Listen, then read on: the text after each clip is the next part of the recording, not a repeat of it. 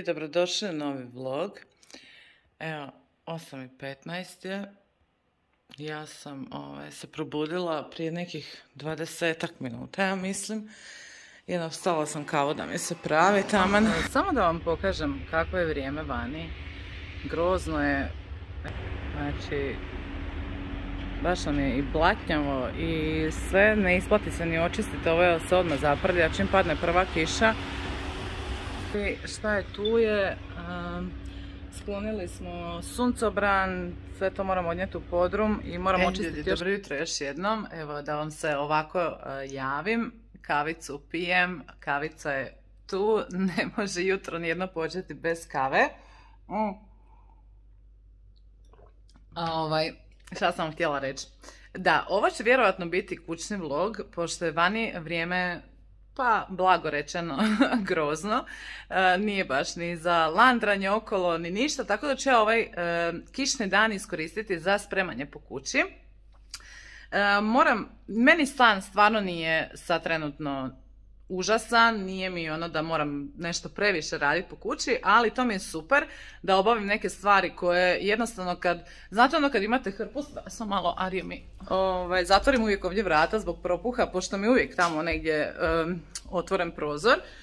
Uh, ljubavi moja. Ej, srce moje, joj, bože, o bože, ma ko mene ljubi, ma ko... Ajde, čekaj, samo da kažem još nešto ljudima, pa ćemo... Pa može, mišu moj. Uglavnom, ljudi, Šta sam vam htjela reći? Da, danas ćemo, e, znači, sa mnom ćete, evo, vodit ću vas kroz dan današnji, e, malo ćemo čistiti po kući, moram, zapravo ja moram usisat i obrisat podove kerherom, pošto to ne radim stvarno često. Kerher je, vidite mene s E, Kerher je jako, baš jak, e, izuzetno jaka para, tako da ja ne volim jako često podove s njim prat, e, da mi se ne parket, to radim jednom ili eventualno dva put mjesečno. Tako da to planiram danas napraviti. inače ovako uzmem krpu i prebrišem podove ili one maramice za čišćenje za podove, tako da, eto, da mi bude ok donekle dok ne dođe taj parni čistač na red. Ali da, ljudi, budite oprezni s tim parnim čistačima. Ne znam kakav je onaj biledin, da li je jak kao ovaj Kerher, ali da, mogu vam se, ako ste malo samo neoprezni, vrlo, vrlo lako vam se mogu uništiti podovi, tako da pripazite. I šta sam još htjela reći? Da, moram neki veš staviti prat, moram, e, malo ću da, danas ću presložiti e, podove, bože podove, danas ću presložiti ormare i e, ljetnu robu ću odvojiti od zimske, stavit ću ih u one organizatore, ako ste gledali temu Hall vidjeli ste. Oduševljena sam s tim organizatorima, tako da jedva čekam da to sad napravim. još vam želim nešto pokazati, samo malo. A vidite što sam dobila za e, poklon, bili su nam e, gosti sad za vikend, tako da donijeli su mi nešto što me oduševilo, a sad ćete vidjeti. Prvo što su mi donijeli ova vaza, ogromna je Baš je velika i ovo živo cvijeće je unutri. Stavila sam malo vode ovdje, to je dovoljno. I ja sam planirala ovo kupiti u depotu, vidjela sam da tamo ima. Planirala sam to kupiti za Božić jer mi je predivno, tako je jednostavno, a opet efektno. I mislim da ih hoću, ne znam koliko će ovo živo trajati, ali kad mi to uvene, kupit ću si to sigurno umjetno, pošto mi je pre, pre lijepo. Ako bude bila dobra replika, ovaj, sigurno ću si to nabaviti. I ljudi, dobila sam Kiehl's adventski kalendar, presladak je. Ljudi, ovo je moj prvi adventski kalendar u životu. Ne znam zašto, nikad nisam htjela kupiti adventski kalendar, jer sam uvijek smatrala da se unutra više nalazi stvari koje ne koristim nego što koristim, tako da mi je to nekako bilo i bacanje novaca. Arija, ti mene zezaš.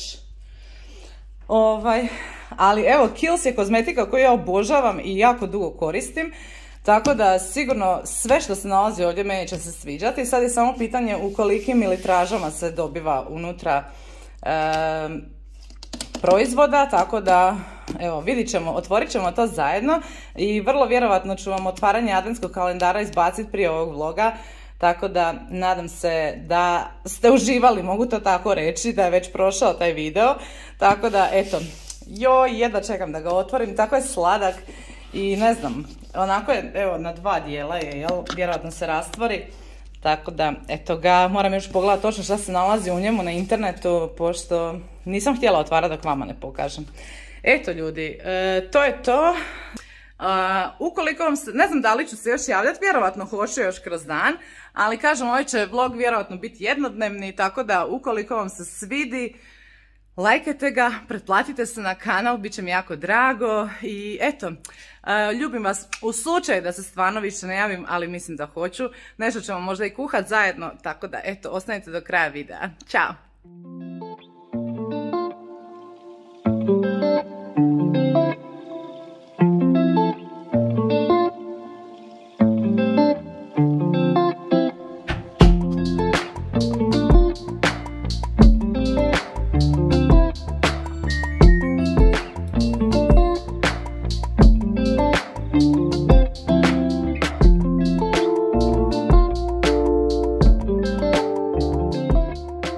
Kako vi, ali ja nikad ne mogu prerano uh, jesti. Ujutro kad se probudim, nema šanse da odmah jedem, da doručkujem nešto. Tako da evo sad je 11 sati već, a ja nisam još apsolutno ništa jela, osim što sam popila onu kavu. I sad si pravim zobene, uh, koristimo ove zobene.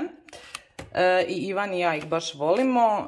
usipala sam ovdje malo ovog Alpro mlijeka, to je bez šećera bademovo mlijeko i kasnije kad se malo ozgusne ću dodati ovih orašastih plodova i bananu. Naravno uvijek možete po želji dodavati voće koje volite. Ja volim dodati ili bobičasto voće, sad ga nemam tako da će bananica poslužiti. Jako volim i s bananom.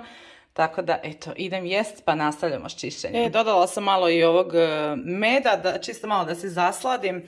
E, naravno, vi, nekada ja dodam ovdje i proteine, e, mi volimo cookies and cream proteine, Ivan pogotovo, tako da ovaj, nekad u ovo dodam i proteina, sad nisam, e, malo ću evo, samo sam meda malo zasladila i evo doručka, doručak vam je ljudi spreman, vjerujte mi ovo je jako ukusno, eto, ali mislim da puno ljudi doručkuje baš ovako nešto, tako da eto nisam vam otkrila Ameriku, ali čisto da vidite šta jedem danas.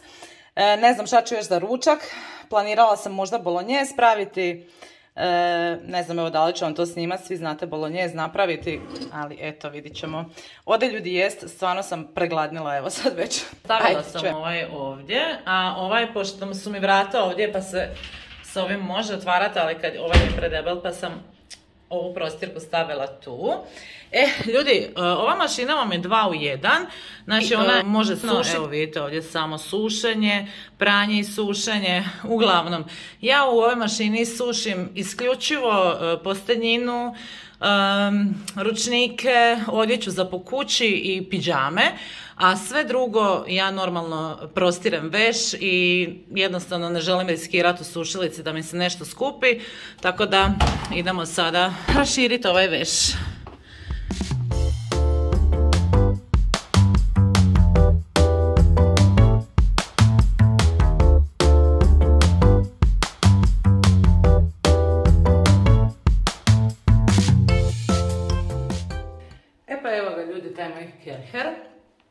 Uglavnom, ja sam, vi možete ovo, nastavke dobijete naravno uz Kerher i oni se mogu, to jest ove krpe, jel, koje se mogu mijenjati po potrebi, s njim možete prati doslovno sve, od prozora, kuhinje, kuhinskih elemenata, podova, madraca i tako dalje.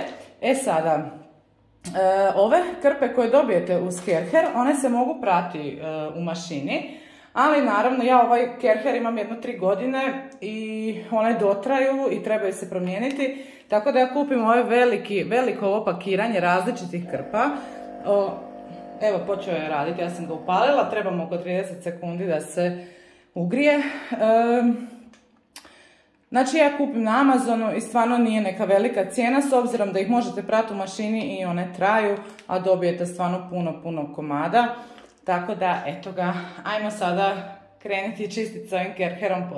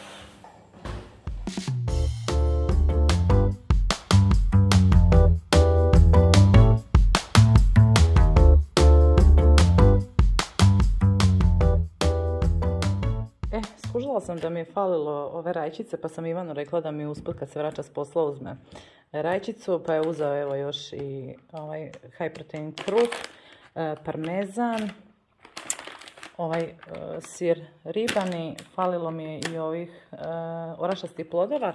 I vi koji živite u Austriji, preporučam vam ovaj kruh, najbolji tost kruh na svijetu. Znači, toliko je mekan, toliko dugo ostane svjež, savršen je. Znači, je on skuplji košta ja mislim oko 3,5, 3,60, nekad bude na sniženju, ali predobar je i stvarno vam ljudi dugo traje. Znači ne morate ga pojesti u dan, dva, može trajati duže i bude, ostane baš svjež. Eto, to je taj old kruh koji sam vam spominjala u nekom od food hallova. Meni je bolognese evo pri kraju. Baš se dugo dinstao i bude mi najljepši kad ga tako. Što ga duže dinstam, on je meni ukusniji. Evo tamo mi je pri kraju i tjestenina, tako da idemo sad ručkati. Eto.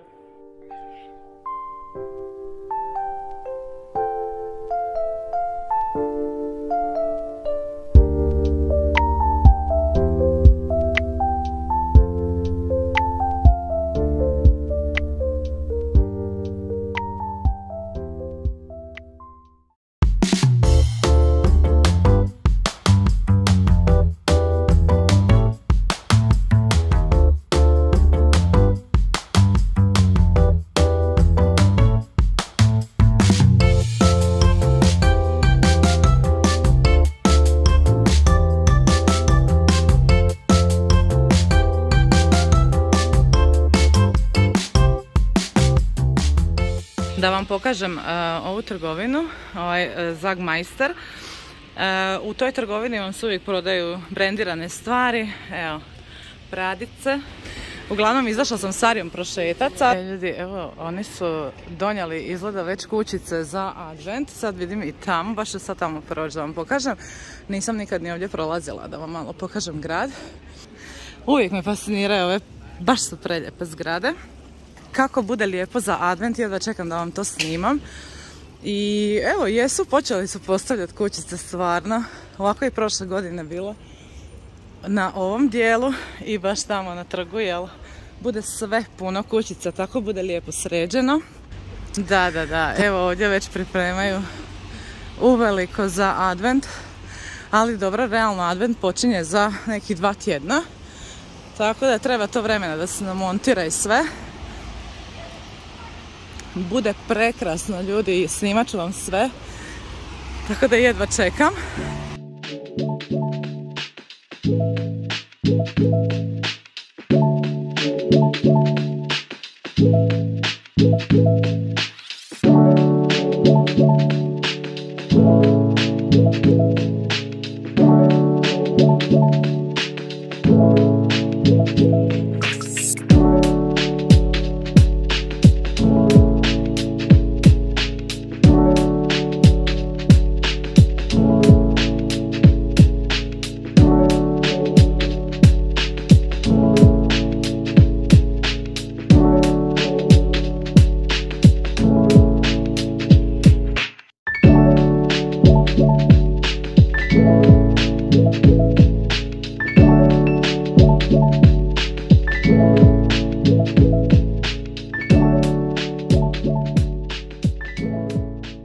Pogledajte ovu kuću. I evo sad kroz ovu ulicu izlazimo odmah u centar ovdje.